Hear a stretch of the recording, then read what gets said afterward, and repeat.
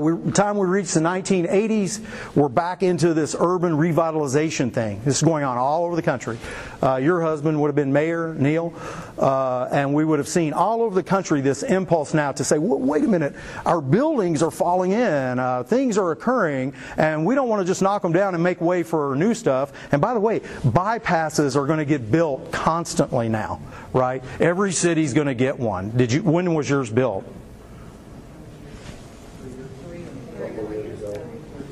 You, so you guys are late comers. What did you all lay down in front of the bulldozers? Or wow. Okay. I guess that's true. I hadn't thought of that. That's true. Yeah, that, that's a whole other piece of the story. Yeah, that goes back to the 1960s impulse, urban renewal, all of that. You're right. Well, that's interesting. Okay, so but you do have a bypass, and I'm sure you make good use of it, right? But we know then they start to affect, bypasses especially and sprawl, begin to affect urban townships where even up to the 1980s you probably had something of a thriving downtown. I would imagine this place did. Uh, and as a result, there's this impulse kicks back in to say we have to preserve what we have right? We have to protect it. And, and so we begin to see zoning apparatus laid out all over the country that begin to uh, protect, by way of ordinances and regulations, um, historic areas. And it was 1985 that you all got your city ordinance for the um, historic district. So let's talk about that a second. what is the historic district? It started out then in the 1970s with an impulse to document the downtown. And so you had a team of preservation specialists that came out, they documented this, and they drafted a National Register nomination. And I think in 1978, this got listed in the National Register of Historic Places, and it's basically the core of your commercial area, so therefore it's a commercial district. By the time Neil Hackworth, when did he become mayor? 1980. 83. Well, by the time he was serving as mayor, there became then uh, one, two, three, four, four more National Register districts that got laid out and nominated and listed in the National Register uh, in Shelbyville. So this is the quilt you begin to see uh, stitched together, and somewhere in there, I don't know who all did this, they decided to say, well, let's make an ordinance and let's put a zoning overlay over top then of all of these districts. They left this little piece out here. I have no idea why. Neil could say, or maybe one of you all. And they extended it, rightly so, down to um, near uh, the horse, help me out there, fairgrounds, uh, horse park. What do you call Fairgrounds. Fairgrounds, thank you. You can see I was struggling with that. So that today what we have is this, right? The historic district. And I know it got expanded to include, there was an amendment to it to include some areas down here on Clay Street and all that. And at somewhere near that, when did your all's uh, Main Street program start? It started, Lucy was on the council about the same time. That's what I would have guessed, but I didn't know. So I just guessed and I said afterwards, but uh, right around that same time, right? Main Streets are coming on. Within about four to five year period, all that. All that Sure. And uh, so that's what you have. And so we say now, what is historic preservation? Remember, that's our, our core question here. I really haven't given you a definitive answer. I'm pointing out what you all have put in place as historic preservation. So it's one mechanism right now that we're talking about. Uh, remember, we've come through the 60s, the 70s, and the 80s, right? Uh, and I would say that now, if you bring it up to today, what is historic preservation? I argue and have taught it from this standpoint. I don't know if y'all know that or not. I taught this stuff in graduate program at the University of Kentucky. Uh, this is how I teach it. And that's quite different from the ways in which the 1960s people envisioned it. Right? It's not about materials conservation or other such things. It's a tool for planning.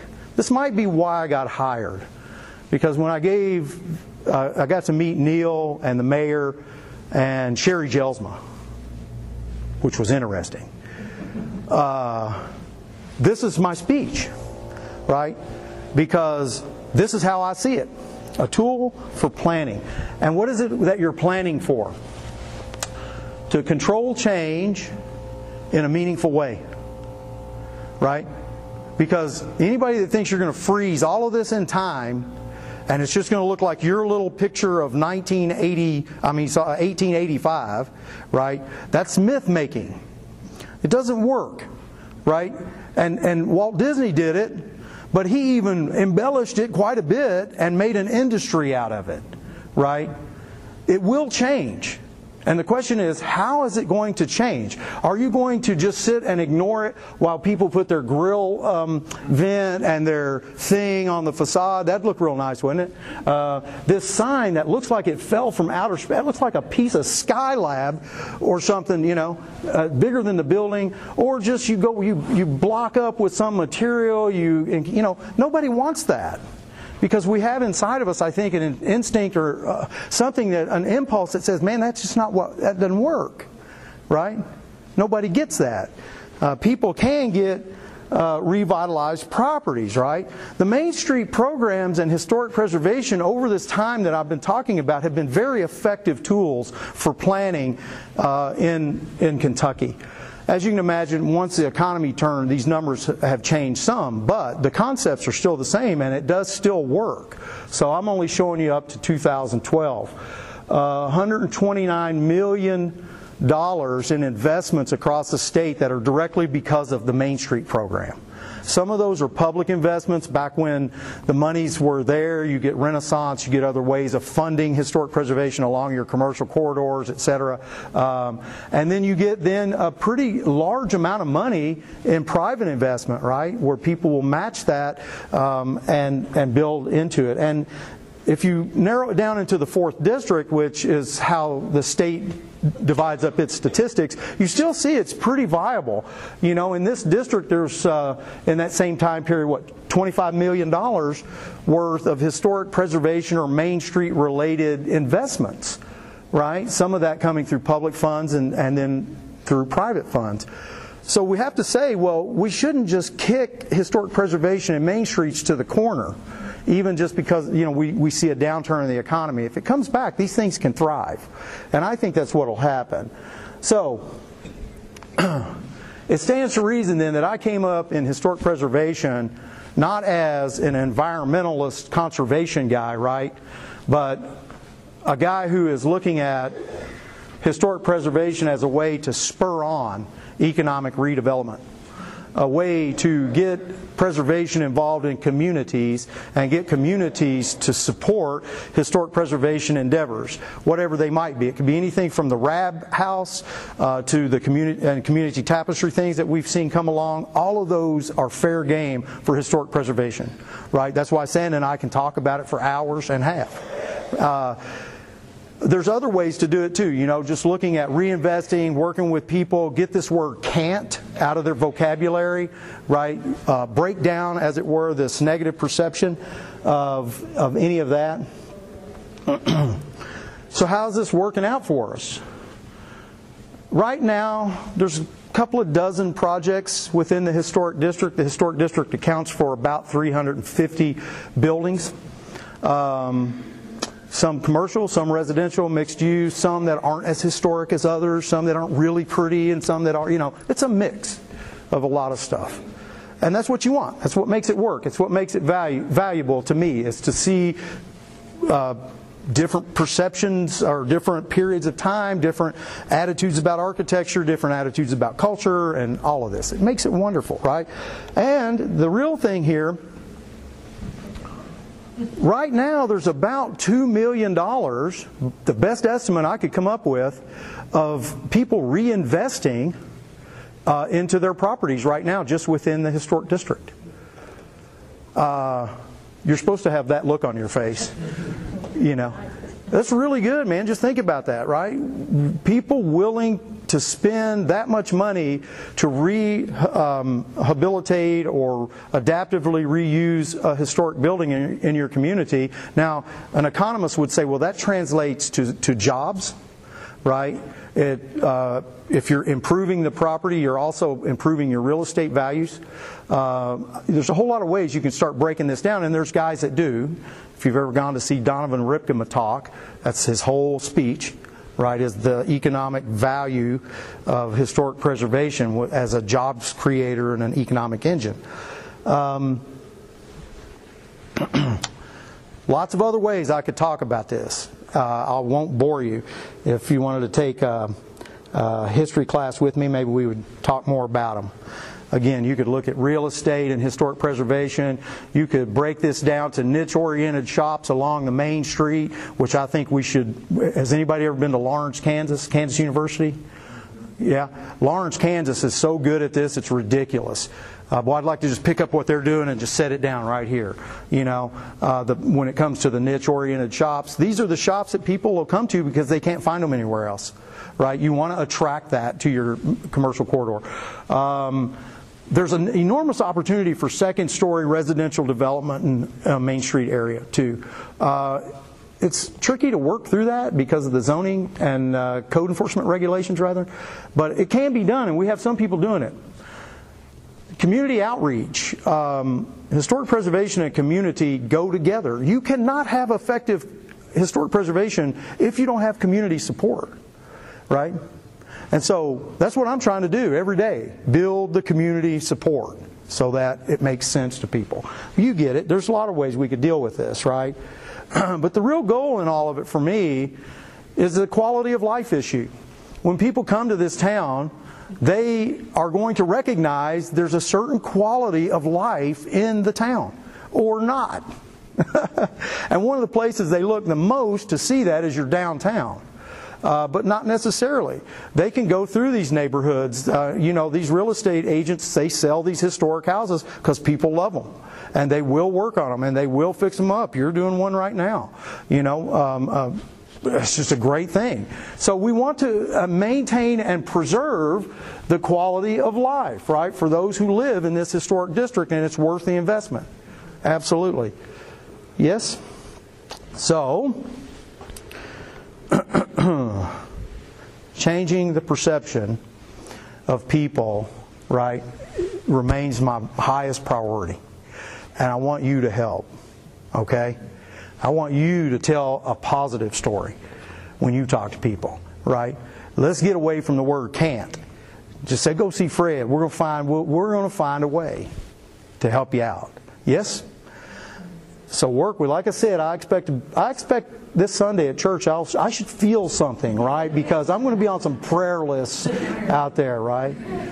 Uh, one of the things I'm working to do is something that's behind the scenes, but it's effective in how we can understand and deal with the historic district and to talk about it, especially from a municipal standpoint and the ways in which it work, operates as a regulatory device. And that is to bring this thing up to the standards of 2014 right? Which is really a technological statement. Uh, and we've, if you hang out with me, I'll eventually show you what I do here. And we just received a grant um, to redo our historic district guidelines uh, because we bump into all kinds of issues that we would like to work with people on, but we're restricted by the guidelines.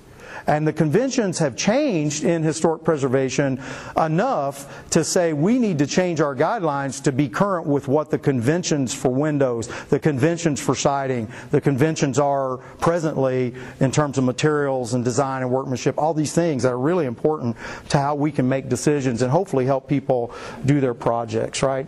And then last is in the future as we go forward. And uh, uh, Julia gets my job after she graduates, uh, that what we will have done is, is created a place that people can celebrate uh, that they can feel proud of and that they know their investment is a good one. And that can be investment of their time, volunteers, you know, the investment of uh, how they view the school system. Everything you can think of can be tied up to this thing called investment, right? And when you when you have a nice investment, you want to feel good about it, right? Yes, I do. Uh, so we all have to work at that, change the perception, and uh, we'll make this district work and get away from this word can't.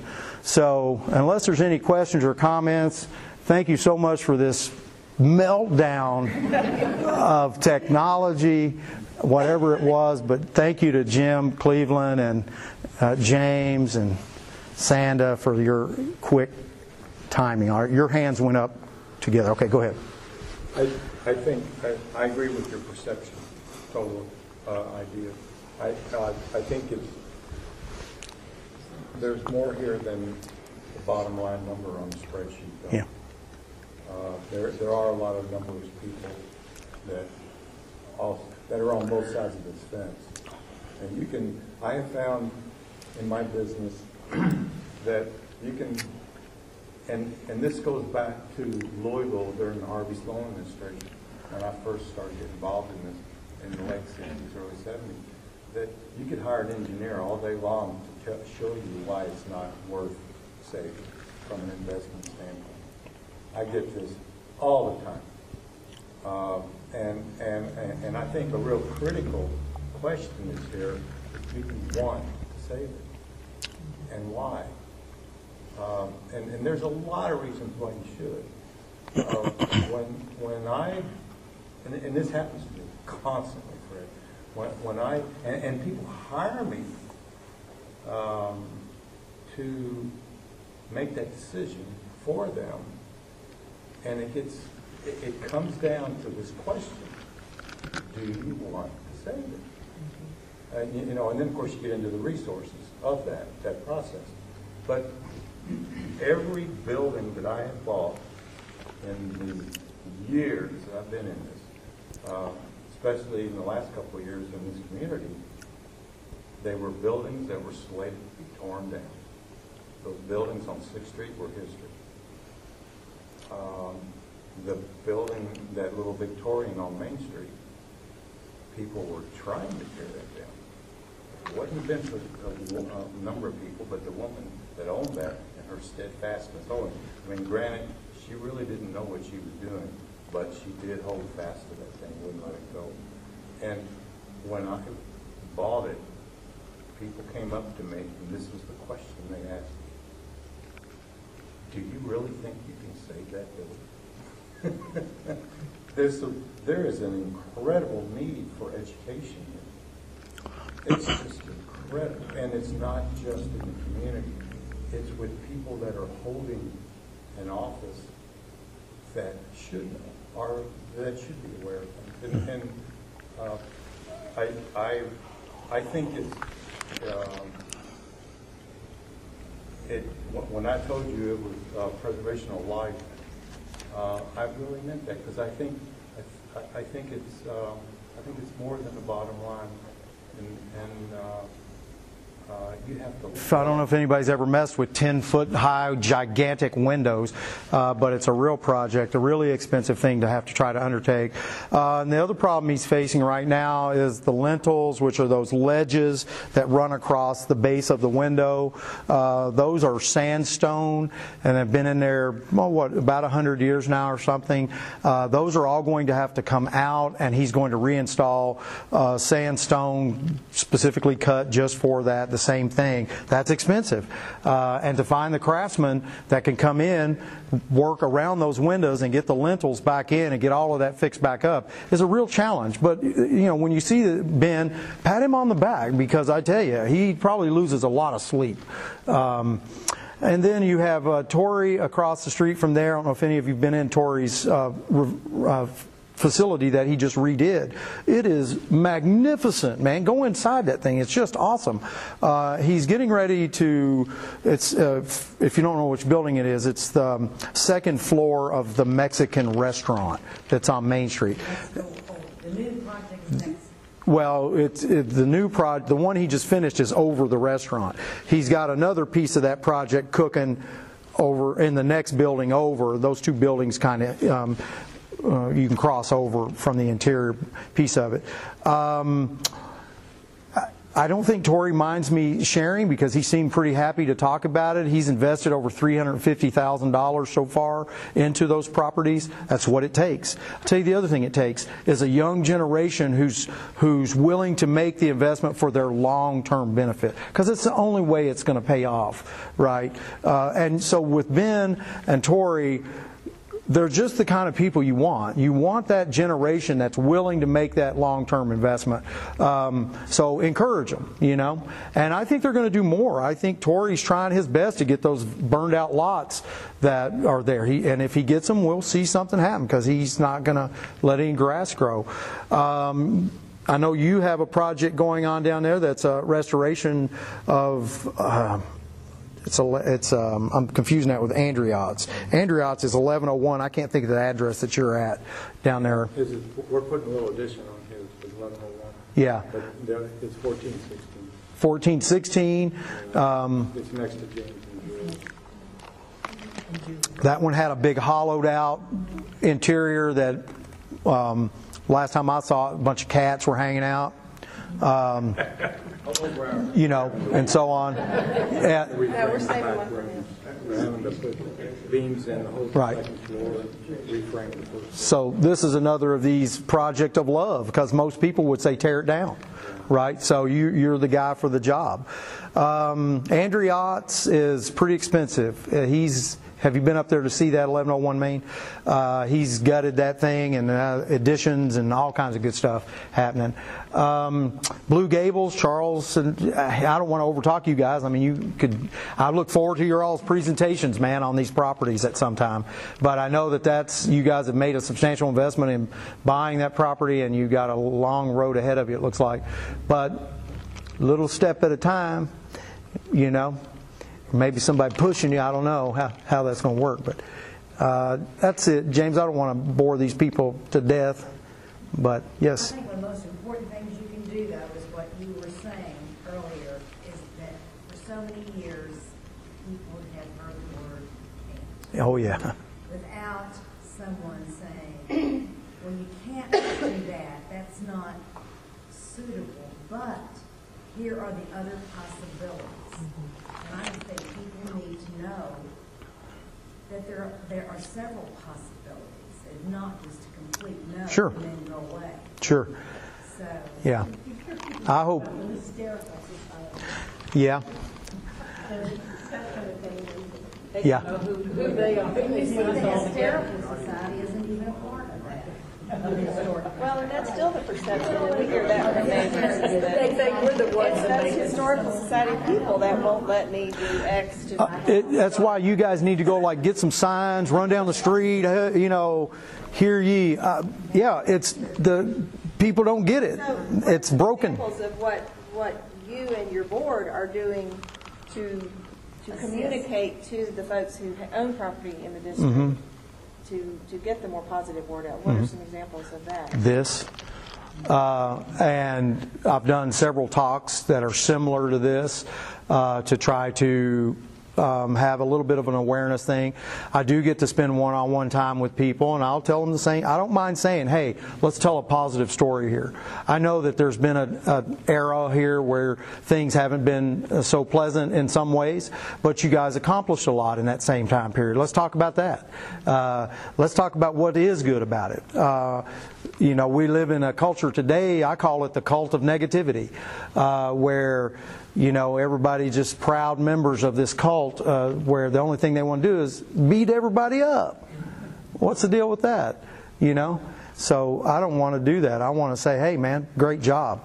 Let's get you sign up. Well, When I'm at the museum, and I love to talk to people when they come in, you know, I like to give them a welcome. But you would be amazed at the number of people who are ama- really love our town because of the way it looks. Oh, yeah. And the, the preservation of the buildings, and they can see we have a sense of pride. And that's pretty much what we're about, is pride. And I think the historic district does a great job, and we thank you for your efforts in keeping us going down that Well, no, It- no It's problem. a sense of pride that you love what you have, and it's a treasure. And so, Yeah. that's, whatever it takes to get it there, I, I think we've done a remarkable job over the twenty-some odd years. Oh, yeah. It has its ups and downs. Sure. Fires don't help. No, not a bit. They don't help a A lot. lot of people out of town too enjoy coming to Shelbyville. All the research I do, talking to people in other states and all over Kentucky and Louisville, they say, I love Shelbyville. I love the way it looks. You Mm-hmm. know, they're, They- you're- We're making a, a stand. And you know, I remember that fire on Sixth Street. yes. That was the impetus to get this whole thing started. That's what started, that's what did it. Yeah. Everybody, Lucy was on the everybody was quite council and Neil was mayor, and that was a tough time, because it could have gone Well, I hear the you. other way. But it worked out, didn't it? All right, sir. We finally are going to make it to your question, and I am so sorry. I just been patiently listening. You have. That's awesome. Uh, I have a little building over on, uh, exec, I'll change that, Gilmore Dutton has a building that, that I rent. And, uh, we put uh, some signs on the window, one said Historic Kentucky, and the other one said Back Home Kentucky. And your predecessor arrived and said, you can't do that. And I said, well, Gail, the problem is, those signs are already up. And uh, she said, well, I'll tell you what we're gonna do, we're gonna grandfather that in because it was obviously a fait accompli. Uh, and I think the real bugaboo about the Historic Commission has been, you know, the can't, is the enforcement. People really don't understand what enforcement powers. Uh, I know they blocked uh, Neil up on, uh, I guess that's 10th, uh, 10th and Main. He wanted to put a sign out, have a big sign, and they blocked that. So you might explain just briefly uh, what enforcement powers the Historic Commission has. Okay. Uh, basically, it's by the ordinance, and it's linked to some extent through code enforcement because they are really the enforcement agent uh, in anything. Not in everything, but in a lot of what we do. If it literally has to be enforced, um, it would go to them. They they are the enforcement. But what we have is the power by ordinance. Like I can go onto people's properties. I can actually go in a, someone's property. I can't imagine doing that personally. Um, but um, I'd, I'd say it's pretty limited, the, the amount of teeth that's in our ordinance, because you don't really need to double dip it. If I have something that if it's a violation in our, by our guidelines, that means it's a code violation. And I can turn it over to code enforcement and they can enforce that violation. So that's really the way to use that tool. And unfortunately, there would be, there will be times when that, you just get people that aren't going to be players. Uh, no matter what, unfortunately. Uh, and, and there's going to be times when that's necessary, but I will tell you, I think it should be very rare. Um, I think that most people, if you get a chance to sit down, be reasonable with them, uh, and by the way, uh, have you, who in here has been thoroughly cussed out by somebody for something somebody else did? I mean, they didn't miss a lick, man. I mean, like this thing was well rehearsed, right? Uh, just the shiniest, cleanest cuss words you can put on it, right? And just lathered me up with it, right? There's so, we got to get rid of that kind of thing here, man. That's just people have this venom in them about this. Uh, but it is a regulatory job, so it does come with regulatory devices that sometimes we're going to have to exercise those to um, to enforce or otherwise insist that something occur. Fortunately, in the two years I've been here, that has not really been the case, um, and I've been able to work work through it with people. You're doing a good job. Okay, well, thank you. Thank you.